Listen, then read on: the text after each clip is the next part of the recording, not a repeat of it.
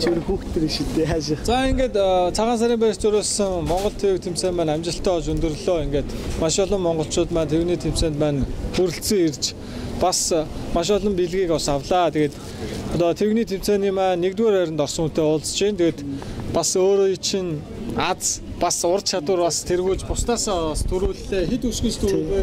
Аа би 100 өршөс. Багтаа хэр их тоглож байна. Багада нэлээд л тоглодог өс тэр нь. Тэгээ яагаад 10 тоглох жил болтой. Тэгээд ер нь тэгээд тоглохгүй байж байгаа л өнөөдөр тэгээд тэвний төвцөө тэгэхээр нэр тоглож шин. За шагналсан юу авбаа? Шагналсан 100 мянган төгрөг. 100 мянган вон. Аа тэгээд энэ жавхлангийн сэдтэй.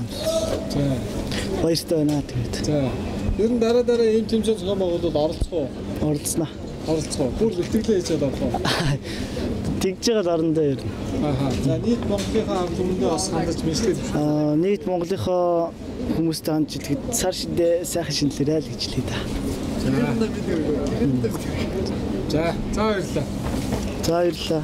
За.